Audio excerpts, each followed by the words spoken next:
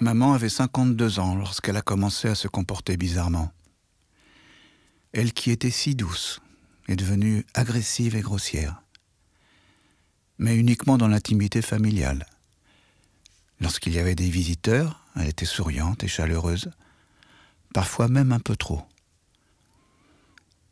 Le médecin avait dit à mon père qu'elle était dépressive, et il l'a traitée pour cela sans aucune amélioration. Nous, nous ne pouvions que constater, impuissants, que la situation empirait et que l'état de notre mère se dégradait inexorablement. Pendant toutes ces années, le climat familial s'est détérioré. Ma sœur pensait que papa était trop autoritaire avec maman et que c'était à cause de ça qu'elle réagissait mal. Papa, lui, qui à cette époque travaillait encore, était de moins en moins patient avec celle qui désormais, disait-il, lui pourrissait la vie à chaque instant.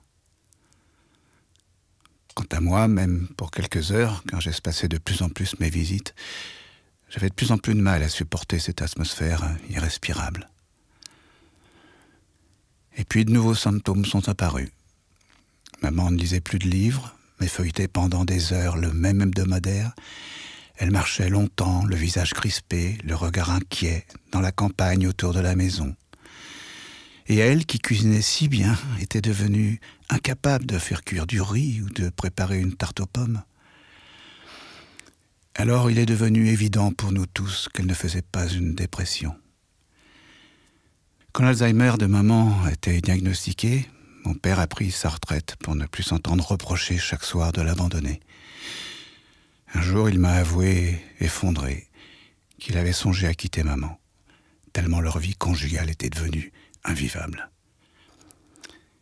tu sais, sans l'éducation que j'ai reçue, il y a des années que je serais parti. C'est vraiment très difficile, et personne n'est préparé à vivre ça.